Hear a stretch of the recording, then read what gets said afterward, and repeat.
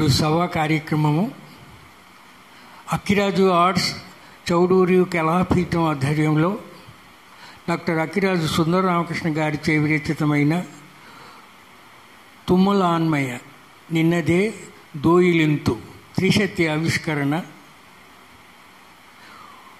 పూజలు పూజ్యులు శ్రీ ముఖ్య అతిథి పద్మభూషణ్ యార్లగడ్డ లక్ష్మీప్రసాద్ గారిని స్వాగతంగా వేదికను అలంకరించే ప్రార్థన. నమస్కారం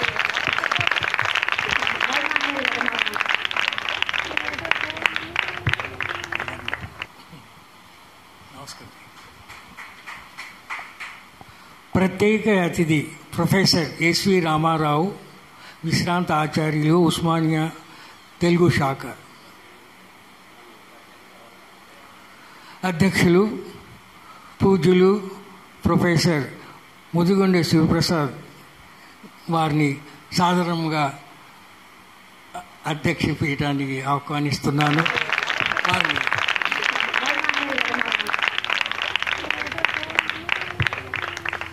స్టెప్ చెప్పండి.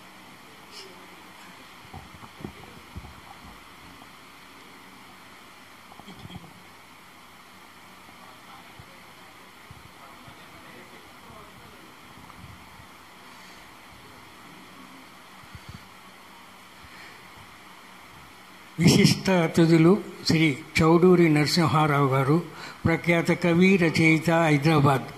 వారి సాధనంగా ఆహ్వానిస్తున్నాం.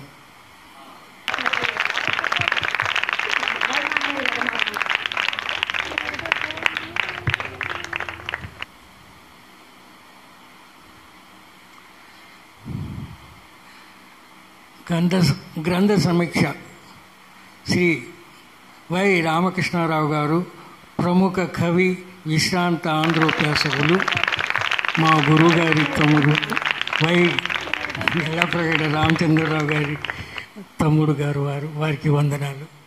అలాగనే లెక్చర్ చేసి రిటైర్ అయినవాడు మంచి వచన కవి భావుకుడు ఎల్బీ నగర్ నివాసి. చౌడూరి కళాపీఠం అనేటువంటి ఒక పీఠాన్ని నిర్వహిస్తూ జంట నగరాల్లోనే కాకుండా అటు మహబూబ్ నగర్ కర్నూలు కడప అనంతపూర్ మొదలైనటువంటి ప్రదేశాల్లో కూడా తనదైనటువంటి రీతిలో సాహిత్య కార్యక్రమాలు చేస్తున్నటువంటి చిరకాల మిత్రుడు నరసింహారావు గారికి కూడా వేదిక స్వాగతం పలుకుతున్నది. ఇక రెండు మాటలు చెప్పి నేను కూడా కూర్చుంటాను. మాస్టారు అస్మత్ గురువర్యులు ఆయన అధ్యక్ష స్థానంలో ఉన్నారు కాబట్టి ఆయన సభా కార్యక్రమం నిర్వహిస్తారు. ఇది కూడా అరగంటలో అయిపోతుంది. ఇదేమి సుదీర్ఘంగా ఉండదు. న్యాయానికి తుమ్మలాన్వయ నిన్నిదే దోయిలింతు అనేటువంటి పద్యకావ్యాన్ని గుంటూరులో పోయిన నెల పదహారవ తారీఖు నేను అక్కడ నేను నిర్వహించాను. మస్తానయ్య గారు వేదయ్య గారు మా మిత్రులందరూ కూడా చాలామంది వచ్చారు గుంటూరులో. అయితే రామారావు గారి పేరు మీద శత జయంతి ఉత్సవాలు జరుగుతున్నటువంటి సందర్భంలో ఎందుకు ఇక్కడ కూడా చేయకూడదు అనేటువంటి ఒక సంకల్పంతో నేను ఈ కార్యక్రమాన్ని తలపెట్టాను. దీనికి ఎప్పటి నుంచో అనుకుంటున్నాను యార్లగడ్డ లక్ష్మీప్రసాద్ గారు. వస్తే నేను అనుకోవడం ప్రపంచంలో ఎన్టీ రామారావు ఇవ్వని ఆయన కంటే మించిన వాళ్ళు ఎవరు ఉండరు. ఉంటే ఒకవేళ నేనే. అది కూడా చెబుతున్నాను. ఎందుకంటే చిన్నప్పటి నుంచి రామారావు గారు నా సరే కొట్టుకున్నటువంటి రోజులు ఉన్నాయి అవన్నీ గుర్తొస్తున్నాయి. అటువంటి మహనీయుడు నేను జరుపుతున్నది చిన్న ఎత్తున తెనాల్లో చూడాలి మీరు నిజంగా. అలా జరుపుతున్నారు వాళ్ళు. బుర్రా సాయిమాధం వాళ్ళు మరి అయినాల మల్లేశ్వరరావు వాళ్ళందరూ కలిసి రోజుకో సినిమా వేసి గురువు గారిది బ్రహ్మాండంగా జరుపుతున్నారు. ఇవాళ ఎర్లగడ్డ వారు రావటం కూడా నాకు చాలా సంతోషంగా ఉంది.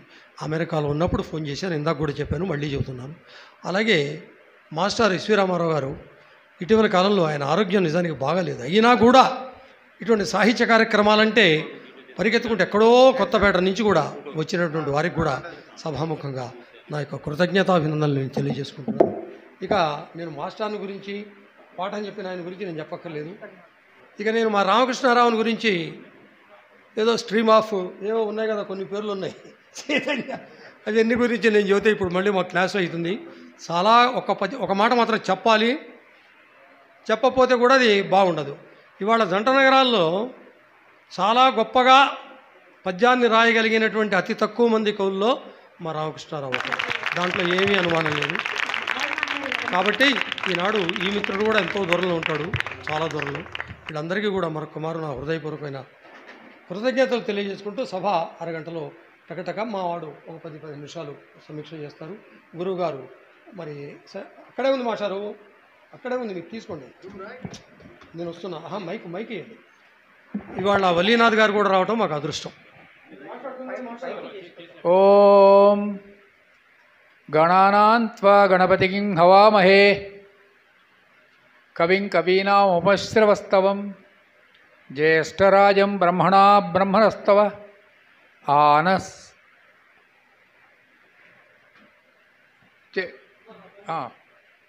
యార్లగడ్డ వారు చర్చ చేయించండి. తీసుకురా. ఆ. నూత సీద సీద సాధనం. ప్రణోదేవి సరస్వతి. వాజేభిర్వాజినీవతి. ధీనామవిత్రియవత్. ओम तच्चं यो रावृणीमहे गातुम यज्ञाय गातुम यज्ञपतये, दैवी स्वस्तिरस्तु नः स्वस्तिर्मानुषेभ्यः, ऊर्ध्वं जिगातु भेषजं, शं नो अस्तु द्विपदे, शं चतुष्पदे शांति शांतिशाति न तत्र सूर्यो भाति न चंद्रतारकं नेमा विद्युतो भान्ति कुतोऽयमग्निः, तमेव भान्तम् अनुभाति सर्वं, तस्य भाषा सर्वमिदं विभाति यो वैतां ब्रह्मणो वेद, अमृतेन अमृतं पुरी, तस्म ब्रह्म च ब्रह्मा च आयुक्ति प्रजा ददु। ओं दीपम ज्योति परम ब्रह्म, दीपं सर्वतमोहर, दीपेन साध्यते सर्व, सन्ध्यादीपं नमोऽस्तु ते, दीपाग्रे वसते लक्ष्मी, दीपमध्येन पार्वती, दीपान्ते वसते वाणी, सन्ध्यादीपं नमोऽस्तु ते।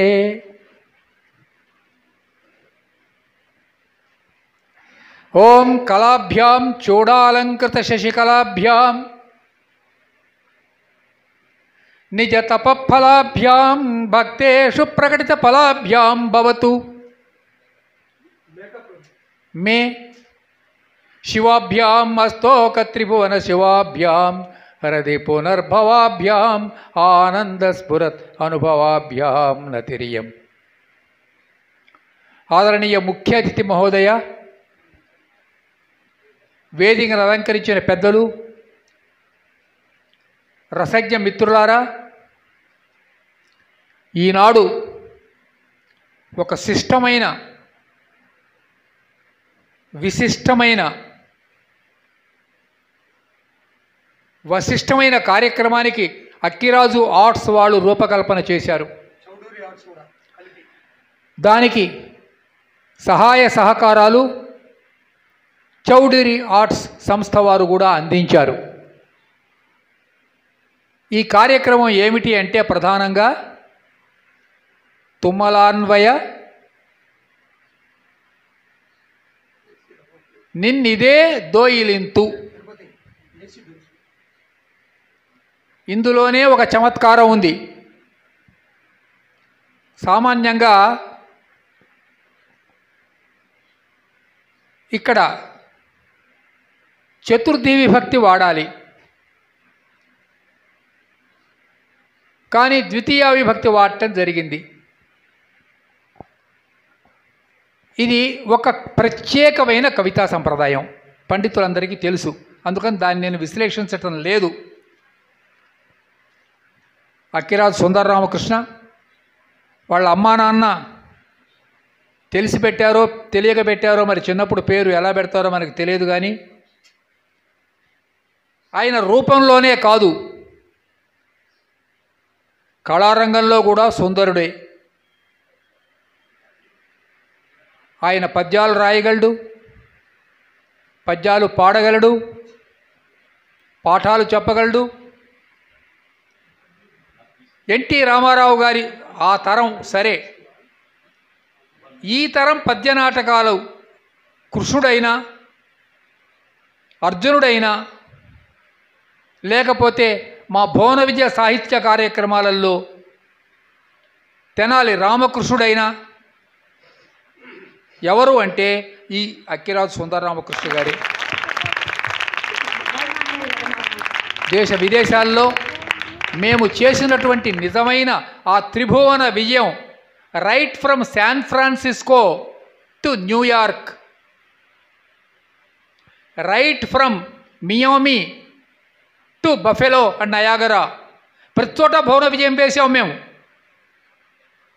ప్రతి చోట నిలబడి దాన్ని స్టాండింగ్ ఓవేషన్స్ అంటారు.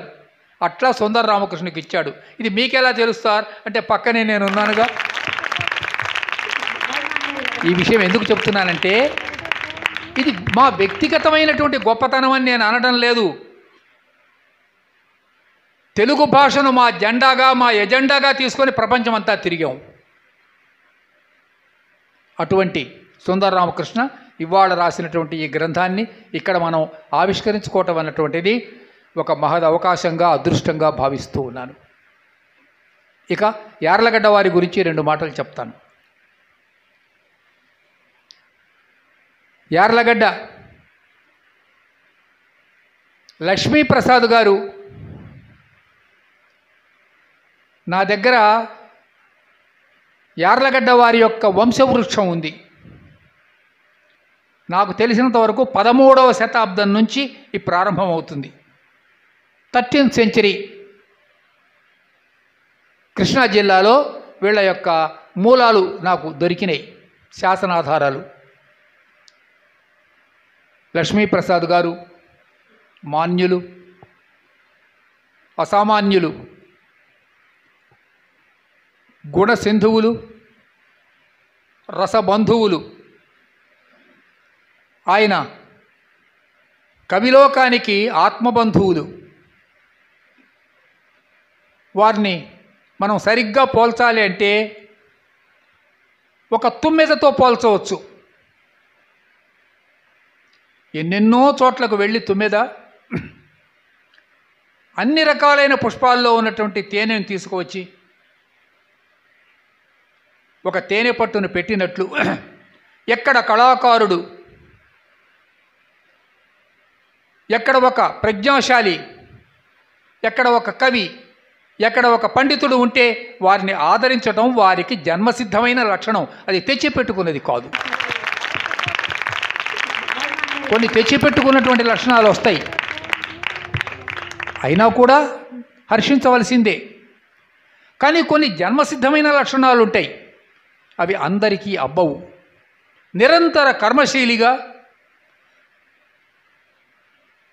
నకర్మణ ప్రజాధనేన త్యాగేనైకేన అమృతత్వమానశు అన్నట్లు. వారు ఈ సభకు రావటం వారి వారి రాక మాకు ఏరువాక. వారు ఈ గ్రంథాన్ని వారి కరకమలముల మీద గుండా మరి కొద్దిసేపట్లో ఆవిష్కరించబోతున్నారు ఈ గ్రంథ విశేషాలను గురించి తక్కిన వక్తలు కూడా రామారావు గారు రామకృష్ణారావు గారు చౌడూరి వారు తదితరులు కూడా మాట్లాడతారు. వీరందరూ కూడా నాకు ఆత్మీయులే. కొందరు హృదయస్థానం అయితే కొందరు మేధాస్థానం. కలిసి పనిచేశాం మేము. ఇక రెండు మాటలు చెప్పి నేను మీ దగ్గర నుంచి సెలవు తీసుకుంటూ ఉన్నాను. అంటే మళ్ళీ అధ్యక్ష స్థానంలో మైకు చేతిలో ఉంది కాబట్టి మళ్ళీ మధ్య మధ్యలో నేను సుదీర్ఘ ప్రసంగాలు చేయకుండా ఇవే తొలి పలుకులు ఇవే మలి పలుకులు ఇవే చిలక పలుకులు. యార్లగడ్డ వారి సమ సమక్షంలో వారు ఇంత దూరం నుంచి శ్రమపడి ఇక్కడికి వచ్చారు అంటే అందుకు తుమ్మల వారి మీద ఉన్న ప్రేమ కావచ్చు. అక్కిరాజు వారి మీద ఉన్న అభిమానం కావచ్చు.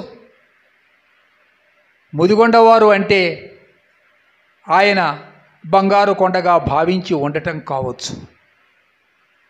విశాఖపట్నానికి తీసుకొని వెళ్ళి వారు నాకు చేసినటువంటి సన్మానం ఏదైతే ఉందో దాన్ని నేను కలికి తురాయిగా భావిస్తూ ఉన్నాను జీవితంలో. అంటే కళాకారులకు సన్మానాలు జరుగుతూ ఉంటాయి. సుందరరామకృష్ణకు నాకు వేల సన్మానాలు వందలు కాదు ఆ లిస్ట్ అంతా రాసి పెట్టుకోలేము మేము. జరిగినాయి. కానీ అందులో కొన్ని అత్యుత్తమైన ఉంటవి. అలా వారి యొక్క కర కమలముల మీద గుండా నేను ఆనాడు విశాఖపట్నంలో సన్మానింపబట్ట ఉన్నది నా జీవితంలో మరిచిపోలేని ఒక మధుర స్మృతి. సార్ త్వరలో మేము ఇంటింటా మహోదయం అనే ఒక ఉద్యమం మొదలుపెట్టాము ఇక్కడ హైదరాబాదులో. ఇంటింటికి కూడా కాపయ నాయకుడు ప్రోలయ నాయకుడు యొక్క జీవితం పది కోట్ల మంది తెలుగు వారికి అందాలి అన్నటువంటిది ఆ ఉద్యమం యొక్క లక్ష్యం. అందుకు కావలసిన రూపకల్పన ప్రణాళిక ఇప్పటికే హైదరాబాదులో జరిగింది. అది ఏమిటో దాని పూర్తి వివరాలు మీకు ఇవాళ అష్టమి నవమి అనుకుంటాను. అమావాస్య వెళ్ళిన తర్వాత శ్రావణ మాసం నుంచి మీకు అందజేయటం. ఆ ఉద్యమాన్ని ఒక ప్రభంజనంలా తీసుకొని వెళ్ళటం రెండూ జరుగుతాయి. దాన్ని సూచనప్రాయంగా మాత్రమే ఇప్పుడు సభాముఖంగా వారికి నేను విజ్ఞప్తి చేస్తూ అందుకు మీ సంపూర్ణ సహాయ సహకార సుహృద్ సుహృద్భావాలు మాకు ఉండాలి అని కోరుకుంటూ గ్రంథావిష్కరణ చేయవలసిందిగా ప్రార్థిస్తూ ఉన్నాను.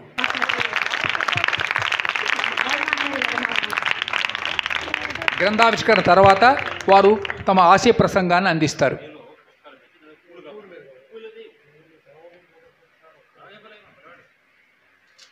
ఓం భద్రం కర్ణేభి శృణుయామ దేవా భద్రం పశ్యేమాక్షభిర్జత్రా స్థిరైరంగైస్తుష్టువాక్సత్తనూభి వ్యశేమ దేవహితం యదాయు స్వస్తి న ఇంద్రో వృద్ధశ్రవా స్వస్తి న తార్షో అరిష్టనేమి స్వస్తి పూషా విశ్వవేద స్వస్తి నో బృహస్పతిర్దదాతు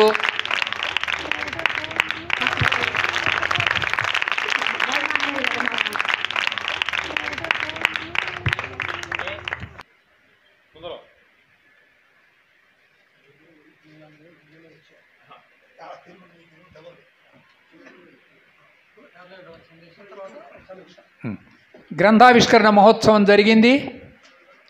తుమ్మల వారి గురించి ఒక్క మాట నేను చెప్పాక యార్లగడ్డ వారి యొక్క ఆశీ ప్రసంగం ఉంటుంది. దాన్ని శ్రద్ధగా వినవలసిందిగా కోరుతున్నాను. ఎందుకంటే వారు ఎంతో శ్రమ తీసుకొని ఇక్కడ మన దగ్గరకు వచ్చారు. దేవుడన మాతృదేశము. దేవతలు అన ప్రజలు. యజ్ఞదీక్షయనంగా సేవావ్రత నిష్టయ అది జీవన సూత్రములుగా ప్రసిద్ధింగనుమా.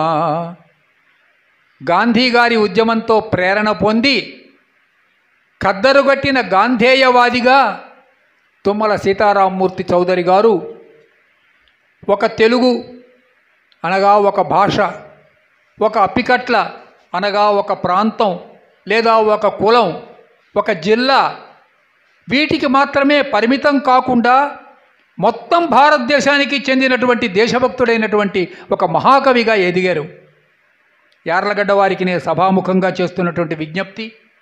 ఈ విజ్ఞప్తి వారైతే వారికి బాగా రాజకీయంగా పలుకుబడి ఉన్నది కాబట్టి వారు ఢిల్లీ వరకు చేర్చగలుగుతారు ఈ విషయం.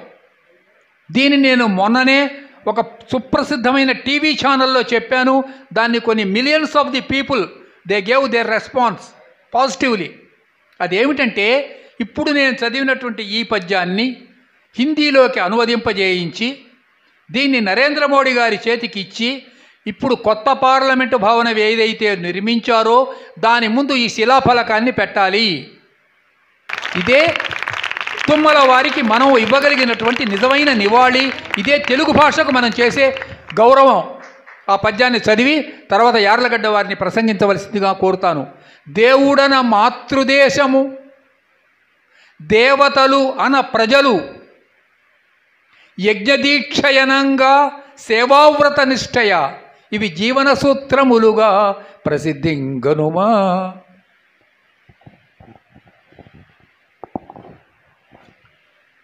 సభకు నమస్కారం. మీలో అందరూ కూడా లవకుశ సినిమా చూస్తుంటారు ఎన్టీ రామారావు నటించిన లవకుశ సినిమా. ఆ చివరిలో లవకుశలు ఇద్దరు ఎన్టీ రామారావు రాముడిగా ఉండి ఆయన్ని బాణాలతో ఎదురు ఎదురు నిలుస్తారు. నిలిచినప్పుడు హనుమంతుడు వస్తాడు.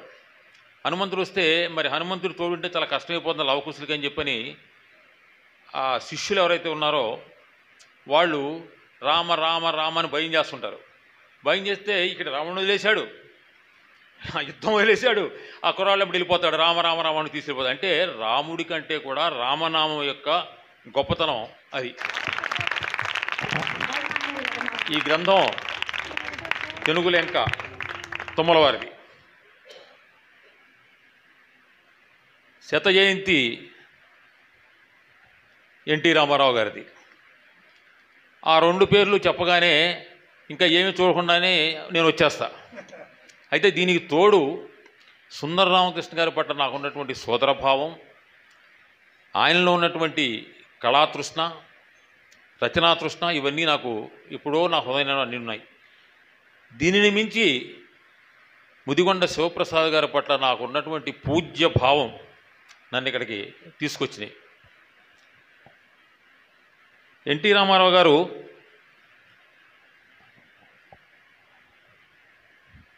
కొంతమందికి విశ్వవిఖ్యాత నట సార్వభౌముడు పేద ప్రజలకు పెన్నిది నా దృష్టిలో ఎన్టీ రామారావు గారు ఒక సంఘ సంస్కర్త. Social reformer. వందలాది సంవత్సరాలుగా పటేల్ పట్వారి విధానంతో గడీల వ్యవస్థ నడుస్తున్న తెలంగాణలో కానివ్వండి కరణాలు మున్సబుల్ చేతుల్లో పడి చిక్కిపోయినటువంటి రైతులను కానీ వాళ్ళందరికీ విముక్తం కలిగించినటువంటి మహావ్యక్తి ఎన్టీ రామారావు. అంతేకాకుండా మహిళలకు ఆస్తి హక్కు ఇచ్చాడు. ఆయన రాకముందు ఢిల్లీలో మనందరినీ మద్రాసీలుగా పిలుస్తూ చపరాసీలాగా చూసేవాడు ఆంధ్రప్రదేశ్ అనేది కానీ తెలుగు భాష అనేది కానీ అక్కడ ఎవరికి తెలియనటువంటి పరిస్థితి. అటువంటిది ఆయన తెలుగు వారికి ఒక అస్తిత్వాన్ని ప్రపంచవ్యాప్తంగా తీసుకొచ్చాడు. ఒక గౌరవాన్ని ప్రపంచవ్యాప్తంగా ఆయన తీసుకొచ్చాడు ఆయన.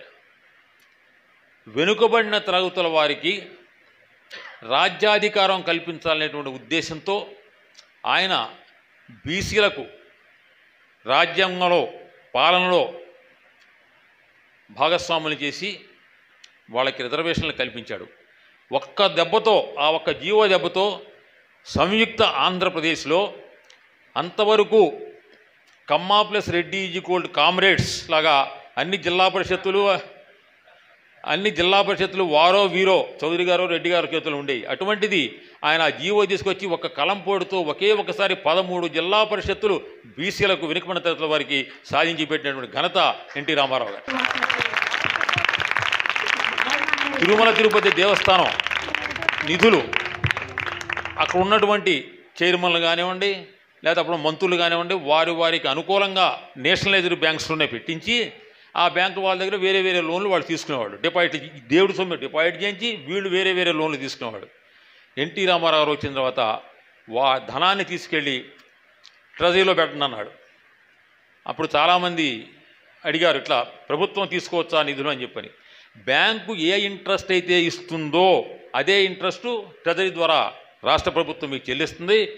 పేదవాడికి గుక్కుడు మంచినీళ్ళు ఇవ్వడానికి వద్దంటాడా? మీ దేవుడు అని చెప్పని ప్రశ్నించాడు ఆయన. ఇంకొక విప్లవాత్మకమైనటువంటి మార్పు ఏంటంటే కొంతమంది నచ్చవచ్చు కొంతమంది నచ్చపోవచ్చు కానీ చరిత్రలో నిలిచిపోయేటువంటివి. అర్చకత్వము అనేటువంటిది కొంతమందికే ఒకే కులానికి అని చెప్పని ఉన్నటువంటి పరిస్థితుల్లో దళితుడైనా సరే ఆగమ శాస్త్రాన్ని అభ్యసించి ఆ పవిత్రతను కాపాడుకుంటూ జీవనం చేసే హరిజనుడైనా సరే బీసీ అయినా సరే దేవాలయంలో అర్చకత్వం చేయొచ్చు అని చెప్పని చెప్పన్నాడు. ఇవన్నీ సామాన్యమైన విషయాలు కాదు. ఒక సంఘ సంస్కర్త మాత్రమే చేయగలుగుతాడు. ఆ సంఘ సంస్కృత భావన ఆయనలో ఉంది కాబట్టే ఆయన ఎన్ని చేయగలిగాడు. సత్సంగత్వే నిస్సంగత్వం నిస్సంగత్వే నిర్మోహత్వం నిర్మోహత్వే నిశ్చలతత్వం నిశ్చలతత్వే జీవన్ముక్తి అని మనం పెద్దలు పూజ్యులు శివప్రసాద్ చెప్పుడు జన్మతహా మనకు కొన్ని వస్తాయి. మనకు అవకాశాలు కానివ్వండి సంస్కారాలు కానీ వస్తాయి. అలా కాకుండా సజ్జన సాంగత్యాన్ని మించినటువంటి అవకాశం ఏదీ ఉండదు. ఎన్టీ రామారావు గారిని అలా ఒక్కసారి చూస్తే చాలు దూరం నుంచి అనేటువంటి భావించిన సందర్భాలు ఉన్నాయి. నాకు విద్యార్థిగా ఎన్టీఆర్ అభిమాన సంఘం గుడివాడలోనే ఉండే ఈ తగాదాలు ఎక్కువ ఎందుకంటే ఇద్దరిది అక్కినేని నాగేశ్వరది రామారావు ఇద్దరిది గుడివాడే. అక్కడ అక్కినేని నాగేశ్వరరావు గారు అన్న కొడుకు వెంకటరత్నం గారు ఉండేవాడు. నందమూరి రా తార తారక రామారావు గారి కజిన్ బ్రదరు ప్రసాద్ గారు నందమూరి ప్రసాద్ గారు ఉండేవాడు. ఈయన వీళ్ళనే ఆయన వాళ్ళని పోషిస్తూ ఉండేవాడు. మేమంతానేమో నాగేశ్వరి వాల్ పోషన్ మీద పేడ ముద్ర వేయటం పిచ్చి పనులన్నీ ఎన్ని చేసాం చిల్లర పనులన్నీ. వాళ్ళు విట్టేస్తూ ఉండేవాళ్ళు. ఈ నేపథ్యంలో అట్లా రామారావు గారిని ఆరాధించినటువంటి నేను ఆయనతో కలిసి నాలుగున్నర సంవత్సరాలు ఉదయం ఐదు గంటలకు గుడ్ మార్నింగ్ మళ్ళీ రాత్రి భోజనం అయిపోయిన తర్వాత ఆయన బెడ్రూమ్లోకి వెళ్తా గుడ్ నైట్. కారులో పక్కన డైనింగ్ టేబుల్లో పక్కన స్టూడియోలో ఆయన పక్కన ఆయన హిందీ ప్రసంగాలు తయారు చేసుకోవటంలో బ్రహ్మ ఋషి విశ్వామిత్ర హిందీ సినిమా తీయటంలో తర్వాత సమ్రాట్ అశోకాలో నేను ఆయనకి సహాయకుడిగా పనిచేసేటువంటి మహత్తరమైనటువంటి అదృష్టం నాలుగున్నర సంవత్సరాలు. నాకు ఇంతకన్నా జీవితం ఏం కావాలండి ఎవరికైనా? ఆయనలో ఒకటే ఒక తపన. ఏం చేయాలి పేదవాడికి? ఏం చేయాలి నేను ఈ సమాజానికి? ఏమి నేను తిరిగి ఇవ్వాలని చెప్పేటటువంటి వ్యవహారం అంతా ఆయన చేశాడు. అక్కినే నేనంటే ఆయన చాలా ప్రీతి. అక్కినే నాగేశ్వరరావు గారు లేకపోతే నేను ఇవాళ ఇలా నుంచునేవాడు కాదు మేము ముందు. దానికి కారణం ఏంటంటే మా అమ్మగారు నాన్నగారు వీధిబడి నడుపుతుండేవాడు ఆడమేస్తారు మొగమేస్తారు అని. ఆ గ్రామంలో బేతవల్ అనేటువంటి ఒక గ్రామం. మొత్తం అంతా కాపు కమ్యూనిటీ వాళ్ళు ఉండేవారు. మా ఒక్కళ్ళదే కమ్మ ఫ్యామిలీ. ఒక పది బ్రాహ్మణ కుటుంబాలు ఉండేవి ఇంటి దగ్గర తిని మాకు బేతవల్ నుంచి కాలేజీ రెండు కిలోమీటర్లు. నడిచి వెళ్ళి డిగ్రీ పూర్తయింది. ఆయన కనుక అక్కడ కాలేజీ పెట్టకపోతే లక్ష రూపాయలు డొనేషన్ ఇచ్చి గుడివాడలో కాలేజీ పెట్టించాడు ఆయన. ఆయన సొంత సంపాదనతో ఉన్నప్పుడు రా- గారు ఇంకా ఇంటి సొంత ఇల్లు కూడా ఏర్పరచుకోకముందే మెడ్రాస్ యూనివర్సిటీకి పాతిక వేలు ఉస్మానియా యూనివర్సిటీకి పాతిక వేలు ఆంధ్ర యూనివర్సిటీకి పాతిక వేలు ఆయన విరాళం ఇచ్చాడు ఆ రోజుల్లో. తర్వాత గుడివాడలో ఒక జమీందారులు ఉన్నారు అడిసిమిల్ వారు ఉన్నారు చాలామంది ఉన్నారు అక్కడ. తిప్పినేని వాళ్ళు ఉన్నారు ఎన్నేని వారు ఉన్నారు. కానీ అక్కినేని నాగేశ్వరరావు గారు లక్ష రూపాయలు ఆ రోజున ఇచ్చి ఆ గుడివాడలో ఆ కాలేజీ పెట్టించకపోతే నేను ఎక్కడో ఒక మిల్లులో గుమ్మస్తాగానో ఎక్కడో గుమ్మస్తాగా మిగిలిపోయాడు తప్ప కదా నిలబడే పరిస్థితి ఉండేది కాదు. అందుకని ఆయన అంటే నాకు చాలా గౌరవం. నా మీద అంతులేని ప్రేమ. నేను తర్వాత ఎంపీ అయిన తర్వాత నా రాజ్యసభ నిధుల్లో నుంచి ఒక కోటి రూపాయలు నేను గుడివాడ కాలేజీకి నేను ఇవ్వటం కూడా జరిగింది. అట్లా నాగేశ్వర గారు రామారావు రెండు కుటుంబాల వాళ్ళు నన్ను వారి కుటుంబ సభ్యుడిగా భావించడం అనేటువంటిది నేను పూర్వజన్మ సుకృతంగా భావిస్తున్నాను. పెద్దలు ఇంటింటా చిన్న కార్యక్రమం చెప్పారు. చెప్పాను వారికి ఆల్రెడీ. ఇంటింటా మహోదయం. ఇంటింటా మహోదయం. ఆ కార్యక్రమం రాజమండ్రిలో విశాఖపట్నంలో విజయవాడలో నిర్వహించేదానికి నేనే పూర్తిగా నిలబడి చేస్తానని చెప్పని మీకు సవినయంగా మనవి చేస్తూ మనం చేయవలసినటువంటి పని ఏంటంటే వీలైనంత వరకు ఇంత అద్భుతమైన పద్యనాటకం తెలుగు వాళ్ళకి ఒక సొంతమైనటువంటి పద్యనాటకాన్ని హరికథల్ని బుర్రకథల్ని మన యువతకు అందజేయాల్సిన పరిస్థితి ఉంది నారాయణ రెడ్డి గారికి జ్ఞానపేట పురస్కారం వచ్చినప్పుడు సన్మానం చేశారు. చేస్తే ఆయన ఎవరికి ఈ సన్మానం ఎందుకు ఈ సన్మానం చెట్టంతటి పేరొందిన చిగురుకు ఈ సన్మానం అమ్మగ సింగిరెడ్డి బుచ్చమ్మగ నా కవితలు స్వరపరిచిన హరికథలకు ఈ సన్మానం నీ ఎవ్వ ఒరే అంటూ నీలిగి నా గొంతుకులో కవితలు స్వరపరిచిన నా హరికథలకి సన్మానం అని చెప్పని ఆయన చెప్పాడు. అంటే ఆ రోజుల్లో మనం గ్రామాల్లో హరికథలు బుర్రకథలు తొలిబొమ్మలాటలు పద్యనాటకాలు ఇవన్నీ చూసి దాంట్లో నుంచి మనం భాషాభానాన్ని పెంచుకోగలిగాం. ఈ రోజున ఆంధ్రప్రదేశ్లో తెలుగువారిలో నూటికి నలభై యాభై శాతం తెలుగు పట్ల పురాణాల పట్ల అవగాహన కలిగించుకున్నంటే దానికి కారణం ఎన్టీ రామారావు నటించినటువంటి ఈ పౌరాణిక సినిమాలు అనేటువంటిది మనం తప్పనిసరిగా చెప్పుకోవాల్సిన అవసరం ఉంది. కాబట్టి యువతకు ఈ ఇది ఒక దురద.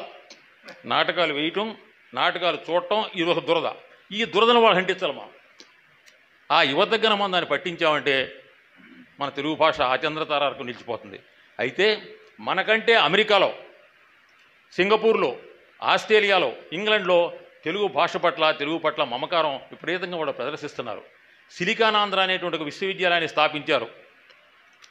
శాన్ ఫ్రాన్సిస్కో దగ్గర. అందులో భారతీయ విషయాలకు సంబంధించినటువంటి విశ్వవిద్యాలయం. అందులో తెలుగు భాషను కూడా ఒక సబ్జెక్ట్గా పెట్టి వాళ్ళు యాభై వేల మంది ఇంతవరకు వివిధ దేశాల్లో తెలుగు మా ఆంధ్రప్రదేశ్లో కాదు తెలంగాణ కాదు ఇది భారతదేశం బయట యాభై వేల మంది విద్యార్థులు మనబడి అనేటువంటి ఆ కార్యక్రమం ద్వారా అక్కడ తెలుగు నేర్చుకుంటున్నారు. పైగా చాలా ఎడ్యుకే డిస్ ఎడ్యుకేషన్ డిస్ట్రిక్ట్ అంటారు. అంటే ఆ డిస్టిక్లు ఆ ఏరియా మన జిల్లా అనేది అక్కడ జిల్లా కాదు ఆ ప్రాంతంలో ఏ స్కూల్ అయితే ఉంటుందో ఆ స్కూల్లో తెలుగు కూడా ఒక సబ్జెక్టుగా కనుక చదువుకుంటే కనుక స్కోరింగ్లో కూడా మార్కులు కలిపేటువంటి పరిస్థితి ఇవాళ అమెరికా దేశంలో ఉంది. కాబట్టి మనం నేను పంతొమ్మిది వందల ఎనభై ఐదులో మొట్టమొదటిసారి అమెరికా వెళ్ళా. వెళ్ళినప్పుడు నేను చూసా తర్వాత ప్రతి సంవత్సరం రెండు సంవత్సరం రెండు సార్లు మూడు సార్లు వెళ్తుంటా అమెరికాకి. నేను చూస్తే ఏం జరిగింది?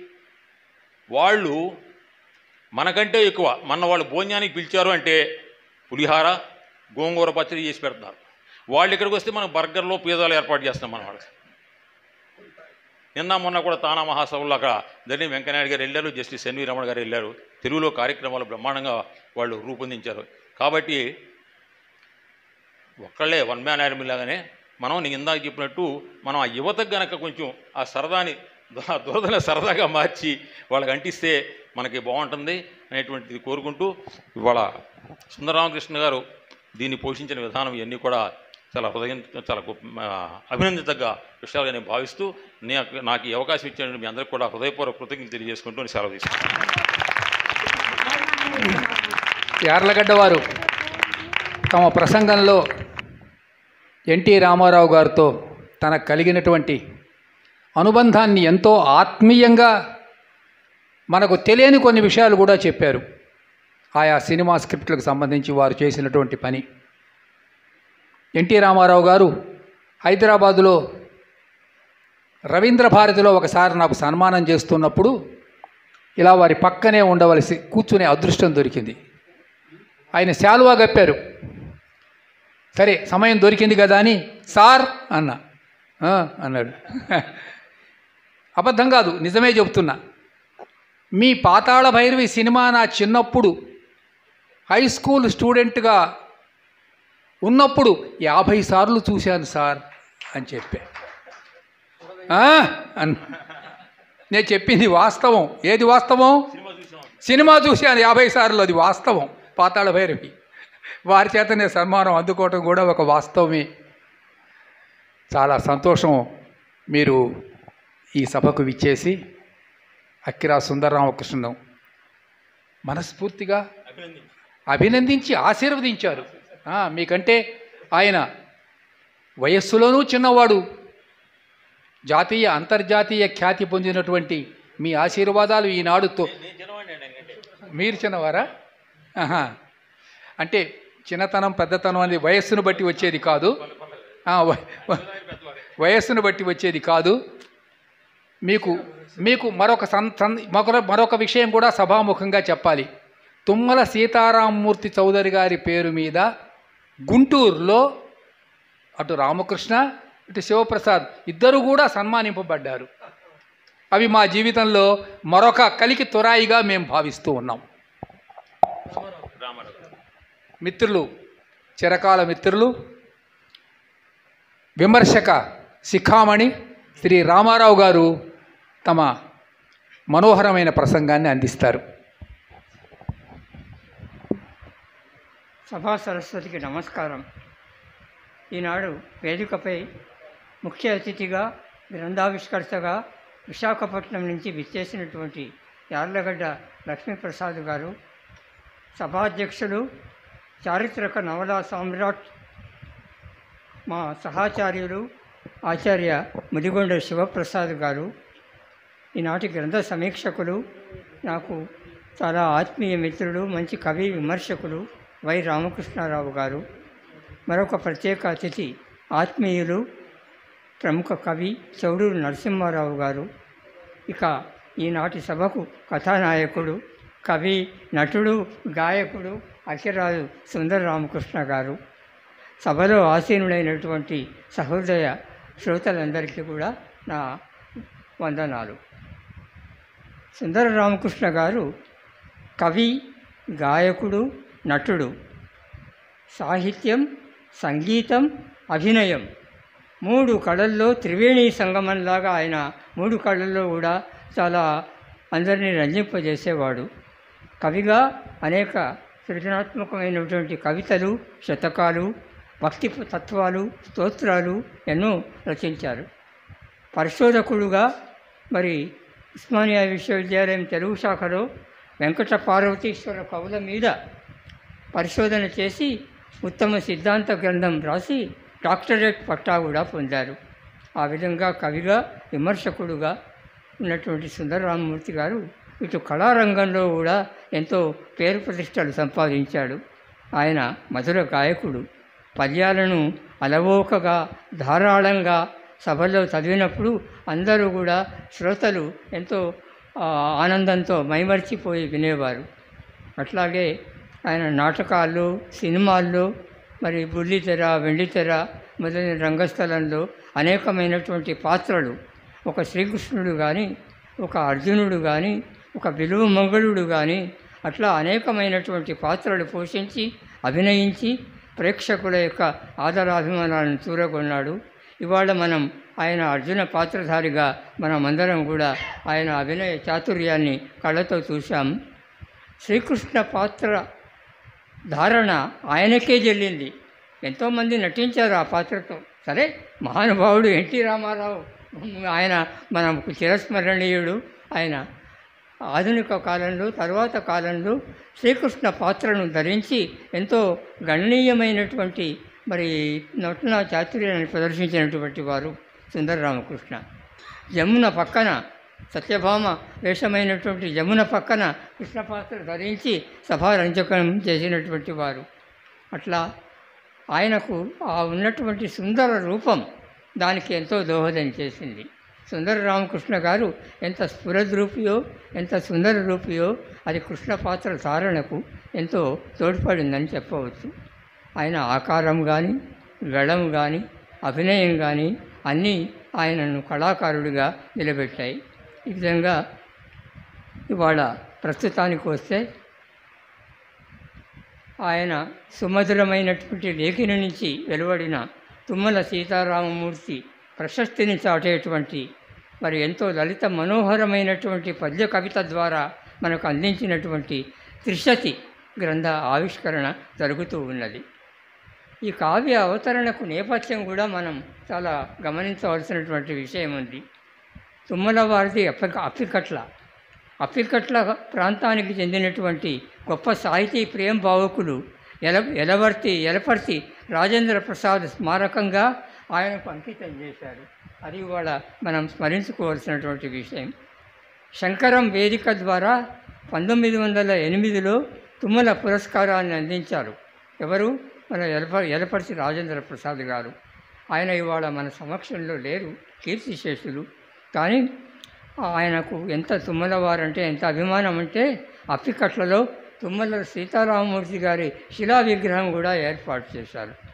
ఆ విధంగా అమ్మ భాష అన్నా తుమ్మల కవిత్వం అన్నా అక్కిరాజు వారి పద్యమన్నా ఈ మూడు ఆయనకు ఎంతో ఇష్టమైనవి. ఎలపర్తి రాజేంద్ర ప్రసాద్ గారికి. అంచేత అట్లా ఆ మహనీయుడిని స్మరించుకుంటూ ఇవాళ ఆయనకు గౌరవ చిహ్నంగా మరి తుమ్మలానుభయ నిన్నేదే దోయిలింతు అనే మకుటంతో మూడు వందల నలుగు పద్యాలు త్రిశతిని ఇవాళ మనం ఆవిష్కరింపజేసుకుంటున్నాం. తుమ్మల వారి పద్యం అంటే తేట తెలుగు మాటల మూటలు. ఆయన అనేకమైనటువంటి కావ్యాలు మహాకావ్యాలు రచించాడు. దేశభక్తి కావ్యం మహాత్మా గాంధీ మరి జీవి ఆత్మకథ రాష్ట్రభక్తి కావి కవిత్వం రాష్ట్రపు గానం. తర్వాత కర్షకులు పల్లెల గ్రామీణ జీతాన్ని చిత్రించే పరిగ పంట కావ్యం. ఇట్లా అనేకమైనటువంటి దేశభక్తి రాష్ట్రభక్తి పల్లె సౌందర్యం మొదలైనటువంటి అన్ని రకాల ప్రక్రియలకు సంబంధించినటువంటి గొప్ప కావ్యాలు అను- సృజన చేసినటువంటి మహానుభావుడు తుమ్మల సీతారామమూర్తి చౌదరి గారు. తెనుగు లెంకగా అభినవ తిక్కనగా ప్రశస్తి వహించాడు.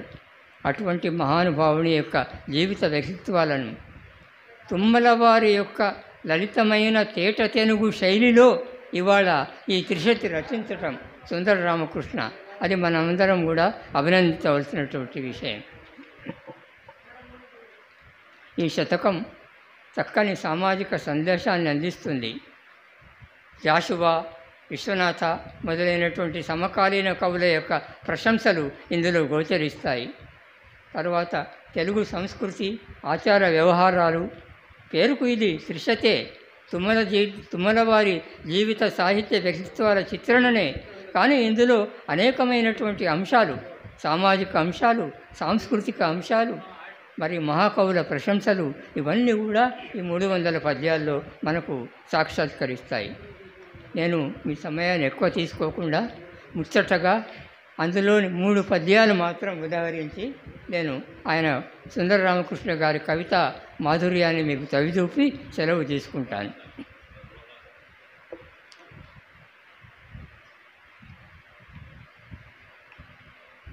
ఒక పద్యం చూడండి. తల్లిదండ్రులు హితులు పెద్దలును బడిరా చెప్పినను వెనుక పెళ్ళిళ్ళు చేసి కొనుట ప్రేమ వివాహాలు.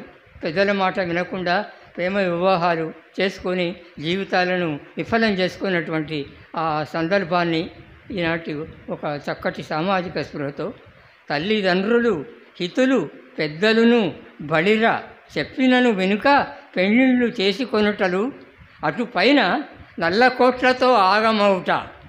కోర్టులకు వెళ్ళడం న్యాయవాదులు నల్ల కోర్టులు ప్రవేశించటం విడాకులు చట్టాలు ఇవన్నీ కూడా అంటే విఫలమవుతున్నటువంటి ప్రేమ వివాహాలు మత మార్పిడి పేరిట జరుగుతున్నటువంటి లవ్ జిహాద్ మొదలైనటువంటి మరి ఇవన్నీ పరి విపరీత పరిణామాలను ఆయన హెచ్చరిస్తూ చాలా చక్కటి పద్యాన్ని రాశాడు.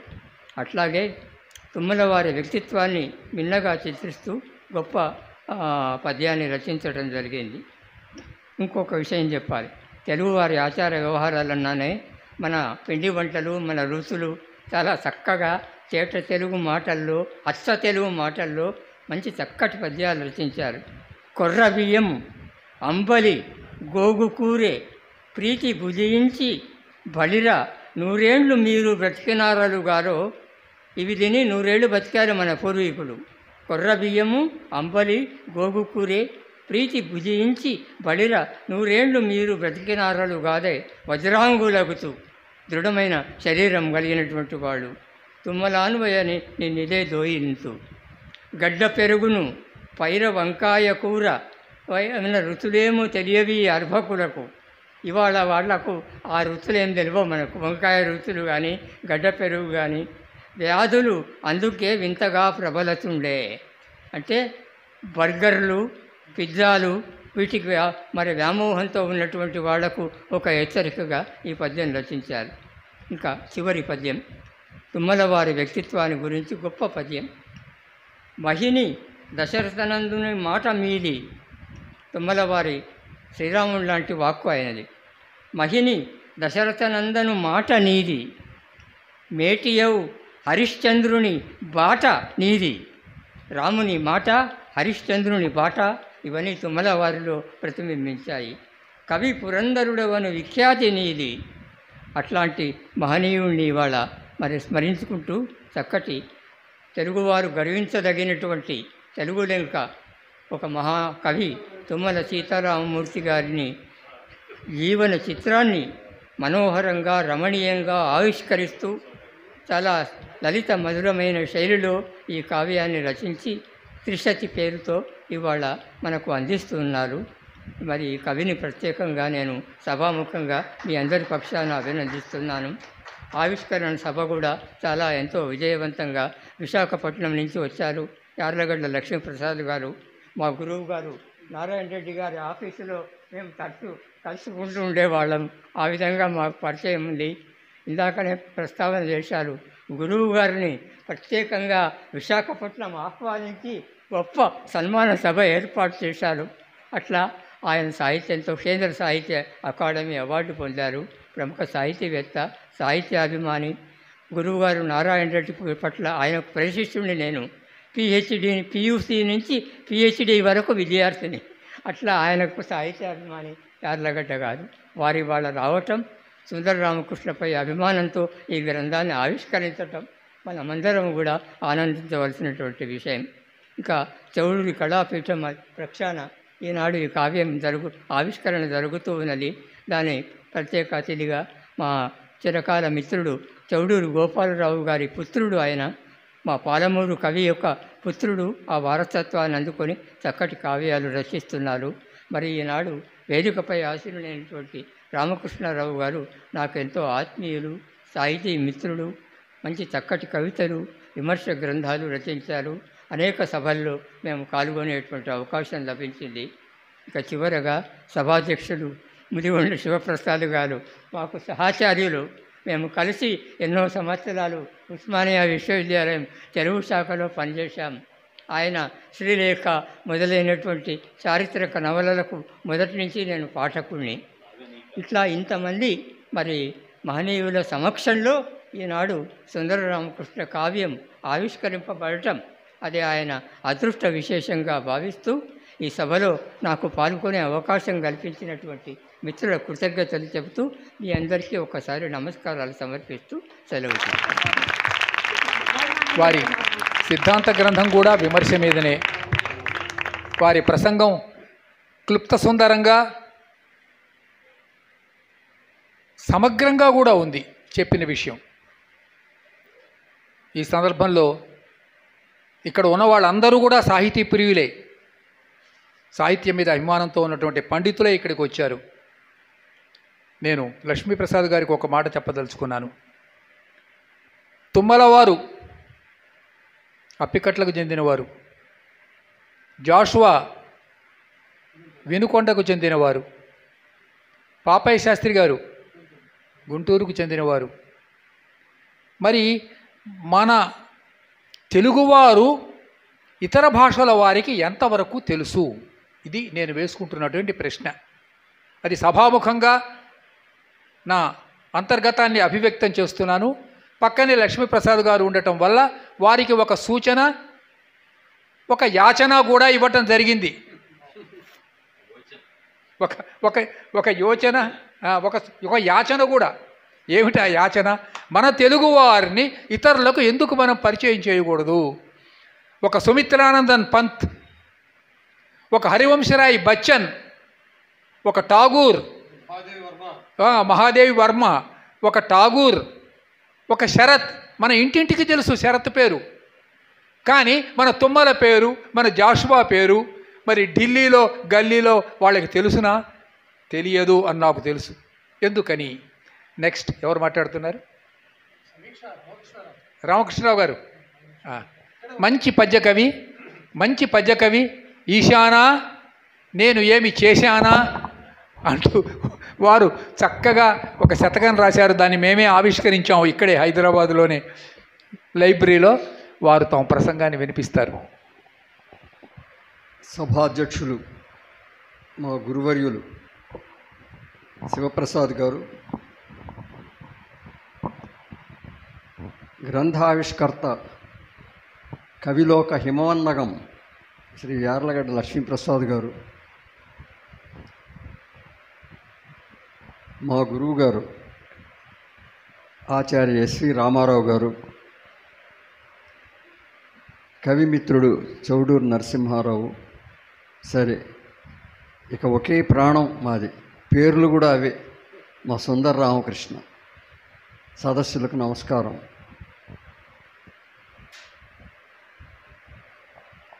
ఎస్వి రామారావు గారు మాట్లాడుతూ మా మంచి మిత్రుడు అని చెప్పారు వారి సహృదయం. నేను వారి స్టూడెంట్ని ఉస్మానియా యూనివర్సిటీలో ఎంఏ చదివేటప్పుడు. ఆయన మా గురువు గారు ఇక్కడ వారు నేను ఈ వేదిక మీద చాలా కార్యక్రమాల్లో పాల్గొన్నాం. ఒకసారి విశ్వనాథ గారి సాహిత్యం మీద మాట బద్దన్న సేనాని మీద వారి అధ్యక్షంలో నేను ప్రసంగించాను ఇక్కడ. ఒక చిన్న విషయం ఏమిటంటే ఈ హాల్ అప్పటికి కట్టలేదు. త్యాగరాజ గాన మెయిన్ హాల్ ఉంది. అప్పుడు ఇక్కడ ఊరిని ఇలా కిందకి దింపి ఉన్నది. ఇది వరుసగా ఒక వసారలా ఉండేది. ఎస్వి రామారావు గారు షష్ఠి పూర్తి మెయిన్ హాల్లో జరిగింది. భోజనాలన్నీ ఇక్కడ ఏర్పాటు చేశారు. ఉందా మాస్టారు అలా వారి ఆతిథ్యంలో భోజనం చేశాను ఒకసారి ఇక్కడ. అంతకుముందు వారు బోయగూడలో ఉన్నప్పుడు వాళ్ళ అబ్బాయి ఉపనయనానికి వెళ్ళి అక్కడ ఒక్కోసారి భో- అంటే భోజనాల గురించి చెప్తున్నాను అనుకోకండి. అలాగే వారి శ్రీమతి స్వయంప్రభ గారు ఎంఏలో నా క్లాస్మేట్. ఆమె కూడా మంచి రచయిత్రి విమర్శకురాలు. సరే. అది నాకు తెలియదు. వాళ్ళ అబ్బాయి కూడా నాకు తెలుసు. సరే ఎక్కువ సమయం తీసుకోకుండా సంక్షిప్తంగానే అంటే రాసుకొచ్చింది చాలా ఉంది కానీ చాలా ఆలస్యం అయిపోయింది కదా అందుకోసం అని చెప్పాను తుమ్మల అన్వయ నిన్నిదే దోయిలింతు అనే శతక మకుటమే ఈ గ్రంథ శీర్షిక కూడా ఉన్నది ఇందులోని. దీంట్లో ఉన్నవన్నీ మూడు వందల తేట గీతులు.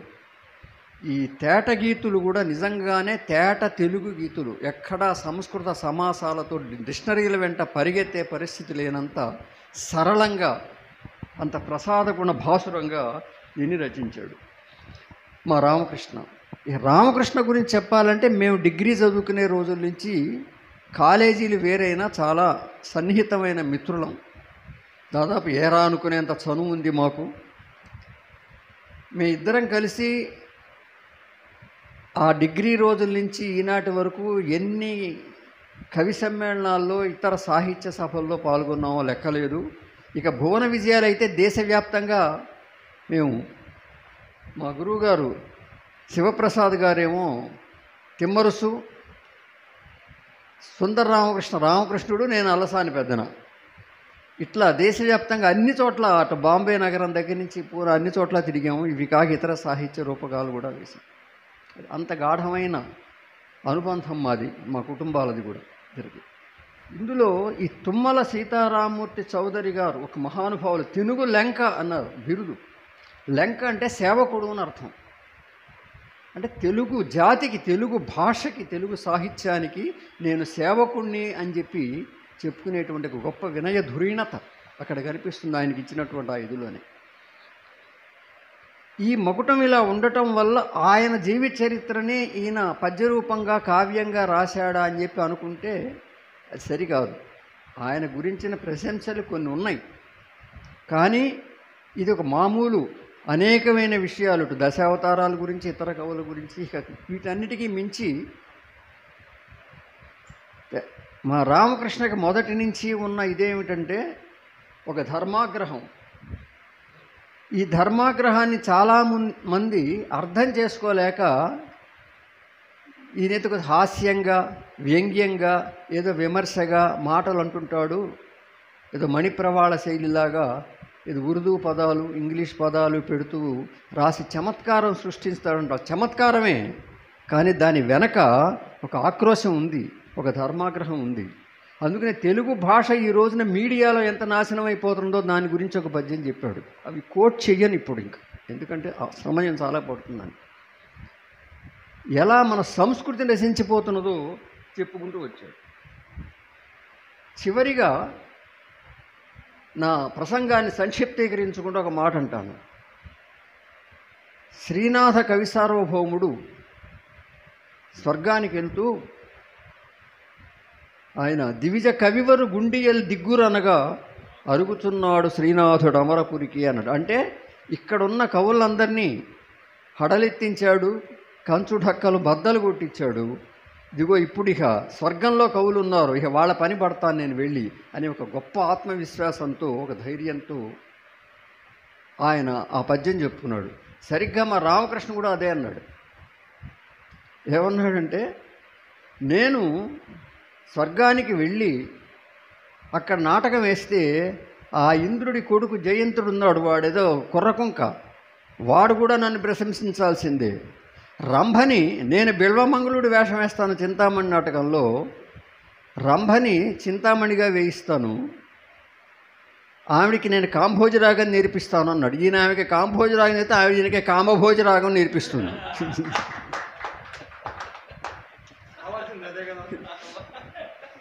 ఇంకా చింత తెచ్చిన పులుపు చావలేదు.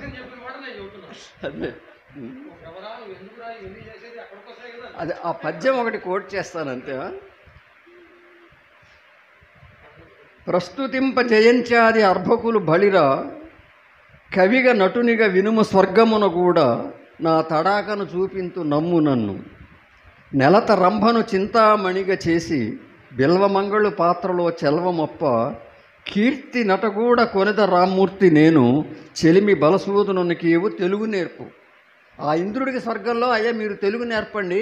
నేను రంభకి కాంభోజిరాగా నేర్పుతాను అని ఒక చమత్కారంగా చెప్పుకుని వచ్చాడు. ఇలాగా ఒక ధర్మాగ్రహం ఒక ఆధ్యాత్మికత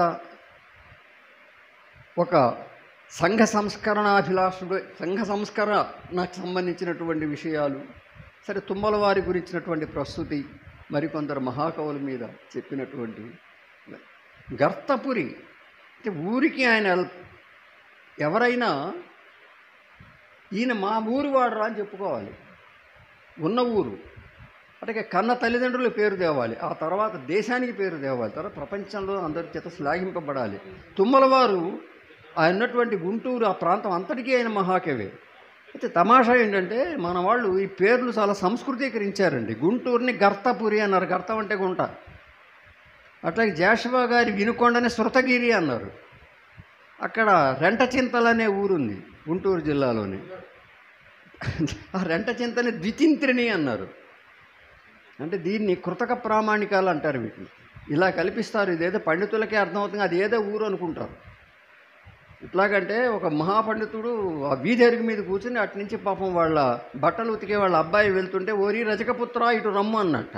ఆ పాపం వాడికేం అర్థం అవుతుంది అయ్యి బాబా అంత పెద్ద పేరు నాకెందుకండి? మీరే ఉంచుకోండి అన్నట్టు అందుకని ఇవేదో చమత్కారంగా గర్తపూరి శృతగిరి అని అనటమే కానీ మనకి గుంటూరు ఆ, వినుకొండ అనటంలో ఉన్న సౌలభ్యం కానీ ఆ శ్రావ్యత కానీ మనకి ఎక్కడా లేదు. సరే ఈ సంక్షిప్తంగా నా ప్రసంగాన్ని ముగిస్తూ చాలా డీటెయిల్డ్గా రాసుకొచ్చాను కానీ ఇంకా సమయం ఎనిమిదిన్నర దాటిపోయింది. ఇంకా హాల్ వాళ్ళు కూడా మెల్లిగా లైట్లు తీస్తూ ఉంటారు ఈ అవకాశం కల్పించినందుకు అంటే స్థాళీపులాక న్యాయంగా ఊరిని దీన్ని స్పృశించి చెప్తున్నాను. ఈ సభలో మా రామకృష్ణ పుస్తకం మీద మాట్లాడే ఒక మంచి అవకాశం మళ్ళీ చాలా కాలానికి కలిగింది. అందుకు కృతజ్ఞత నమస్కారం. చాలా చాలా సంతోషం రామకృష్ణరావు గారు. చాలా రోజులైంది మిమ్మల్ని చూసి. అంటే కరోనా వచ్చిన తర్వాత మనుషులందరూ కూడా ఎక్కడ వాళ్ళు అక్కడ చల్లా చెదరైపోయారు ఏదో మనం ఇక్కడ మళ్ళీ కలుస్తున్నాము అంటే చ- కరోనా కోరల నుంచి బయటికి బయటపడ్డాము అని చెప్పుకోవడం కోసం ఇలాంటి సమావేశాలను ఏర్పాటు చేసుకుంటూ ఉన్నాం. చౌడూరి గోపాలరావు గారు నాకు చాలా ఆత్మీయుడు. ఆయన మహబూబ్ నగర్ వాసి. ఒకసారి కాదు ఆయన నన్ను మహబూబ్ నగర్ ఎన్నిసార్లు పిలిచాడో నేను చెప్పలేను. వారి యొక్క సుపుత్రులు వచ్చారు. వారు కూడా క్లుప్త సుందరంగా తమ అభినందనలు అందజేస్తారు. ఇంతమంది పెద్దలు మాట్లాడిన తర్వాత నాకు అవకాశం ఇవ్వడం ఈరోజు విశాఖపట్నం నుంచి అంత దూరం నుంచి ఇక్కడికి వచ్చినటువంటి విశాల హృదయులైనటువంటి సాహితీ మహోన్నతులైనటువంటి యార్లగడ్డ లక్ష్మీప్రసాద్ గారికి మరియు ముదిగొండ శివప్రసాద్ గారి యొక్క జాగృతిలో వస్తున్నటువంటి సీరియల్స్ దాదాపు ఒక ఏడెనిమిది చదివాను నేను. దాంట్లో నాగనీక అనే సీరియల్ ఒకటి చాలా అద్భుతమైన సీరియల్. నాకు తెలిసి ఆ సీరియల్కి వారికి చారిత్రక నవలా చక్రవర్తి అనే బిరుదు కూడా వచ్చిందని నాకు తెలిసినంత వరకు. వారు నాకు సంఘంలో కానీ ఏవీపీలో కానీ విశ్వ హిందూ పరిషత్తులో కానీ మేము చిన్నప్పటి నుంచి వారి ప్రసంగాలు వింటూ వారి యొక్క వ్యాసాలు కథలు నవలలు కథానికలు చ చదువుతూ పెరిగినటువంటి వారు. అలాగే యార్లగడ్డ వారు కూడా గుంటూరులో రెండు వేల సంవత్సరానికి ముందు అంటే నైంటీ ఎయిట్ నైంటీ నైన్ ఆ టైంలో నేను ప్రకాశం జిల్లా ఒంగోలులో ఒక ముప్పై సంవత్సరాలు ఉన్నాను. ప్రైవేట్ కార్పొరేట్ కళాశాలలో సంస్కృత విభాగాధిపతిగా పనిచేశాను. వారితో నాకు గుంటూరులో వెంకటేశ్వర విజ్ఞాన మందిరంలో ఒకసారి అలాగే బృందావన్ గార్డెన్స్లో ఒకసారి అక్కడ ఉన్నటువంటి మాకు గురుతుల్యులైనటువంటి నాగభైరవ కోటేశ్వరరావు గారి ద్వారా వారి సమక్షంలో వారిని చూడడం జరిగింది. మళ్ళీ ఇన్నేళ్ళు అయిన తర్వాత మన గురువుగారు అఖిరాజు వారి కార్యక్రమంలో చూడడం జరిగింది. చాలా సంతోషం. ఇక మాకు ఆత్మీయులు మా నాన్నగారికి ఆత్మీయులు జ్యోతిర్మయ లాంటి సంస్థలో ఇద్దరు కలిసి పనిచేశారు. ఒక పాలమూరు జిల్లాలో ఒక విప్లవాన్ని తీసుకొచ్చినటువంటి మహానుభావులు నాకు గురుతుల్యులు ఆత్మీయులు నేను రచించిన మూడు పుస్తకాలకి కూడా చక్కగా ఆశీర్వచనాలు ఇచ్చి నన్ను ముందుకు నడిపిస్తున్నటువంటి మా ఆత్మ బంధువులు ఆచార్య ఎస్వి రామారావు గారు. అలాగే పంతొమ్మిది వందల తొంభై ఎనిమిదిలో ఒంగోలులో సివిఎన్ రీడింగ్ రూమ్లో ఒక సాహిత్య సభ జరుగుతుంది. ఆ సభలో ముఖ్య అతిథిగా విచ్చేశారు మా అఖిరాజు సుందరరామకృష్ణ గారు గురువుగారు. వారు ఆ సభలో ఒక సందర్భంలో వ్యాసుడు కాశీకి వెళ్ళినప్పుడు ఆ వ్యాస మహర్షిని అవమానించినటువంటి ఆ చూపుడు వేలును అతని బొడ్డులో కూర్చడం వల్ల ఆ వేలు బయటికి రావాలి అంటే వ్యాసుడు ఒక మాట అంటాడు అశరీరవాణి చెబుతుంది. ఈ ఒక చకారము లేకుండా చకార కుక్షి అని వ్యాసుణ్ణి అవమానిస్తాడు వ్యాస కాళిదాస్ మహాకవి. అప్పుడు ఆ చకార కుక్షి అనేటువంటి మాట అన్నావు కాబట్టి చ అనే అక్షరం లేకుండా ఒక అద్భుతమైన పద్యాన్ని ఆశువుగా చెప్పు అన్నప్పుడు ఆ పద్యాన్ని అవకాశాన్ని బట్టి అందించిన అదృష్టం నాకు కలిగింది ఆ రోజు. ద్రౌపద్యా పాండుతనయ పతిదేవర భావుకా న దేవరో ధర్మరాజ సహదేవో న భావుక. వారు మధ్య మధ్య నేను ఫోన్ చేసినప్పుడు ద్రౌపద్యా నరసింహారావా? "ఆ, చెప్పు అనేవారు. ఆ విధంగా వారి యొక్క గళసీమ నుంచి వచ్చినటువంటి పద్యాలు మహాకవి పోతన పద్యాలు అద్భుతమైన పౌరాణిక పద్యాలు వారి గురించి విని వింటూ వారి పద్యాలు చదివి వింటూ అలా పెరిగినటువంటి పిల్లలం మేము ఈరోజు వారితో పాటు ఈ సభలో పాల్గొనడం. పైగా మా మామయ్య గారు శనగవరం సుబ్బయ్య గారు ఒంగోలులో వారికి ఆత్మీయులుగా ఉండడం తర్వాత ఇంకా మాకు అనుబంధం ఏర్పడడం వారితో కలిసి సమావేశంలో పాల్గొనడం అదృష్టంగా భావిస్తున్నాను. ఇక రామకృష్ణారావు గారు నిజంగా వారు చాలా అద్భుతంగా పుస్తకం గురించి చెప్పాలనే ఆలోచనతో వచ్చారు కానీ మనకున్న కాలాతీతం వల్ల వారు స్థాలీపులకు న్యాయం వల్లే చాలా చక్కగా చెప్పారండి. వారు కూడా వారిని దర్శించడం కూడా నాకు చాలా ఆనందంగా ఉంది. ఈ సభలో నేను చౌడూరి కళాపీఠం అధ్యక్షుడిగా ఒక వందన సమర్పణ లాంటిది చెప్పాలనుకుంటున్నాను. మాన్యజనులార సౌజన్యజన్యులార విమలమతులార విజ్ఞానవేత్తలార భవ్య భాగ్యనగర సాహితీ సదస్యులార అందుకొనుడిదే చౌడూరి వందనములు. సభాయినం.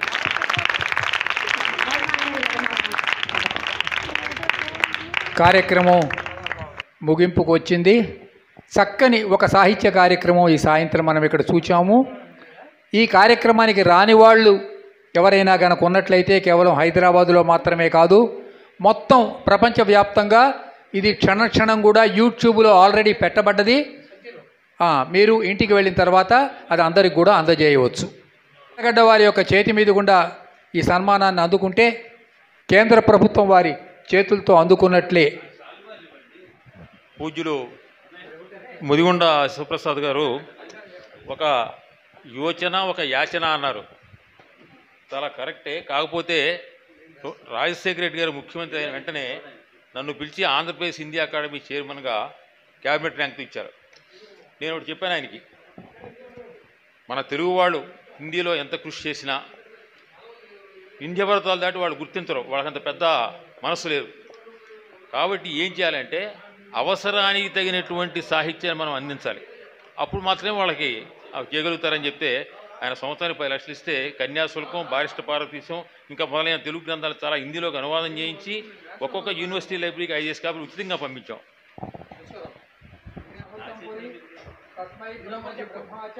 ఆయు ప్రజాం దదుః ఓం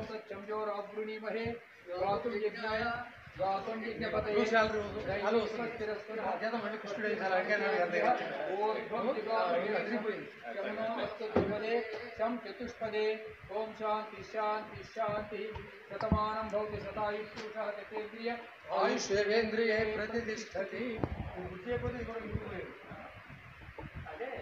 नवो नवो भवति जायमानः पठनाङ्के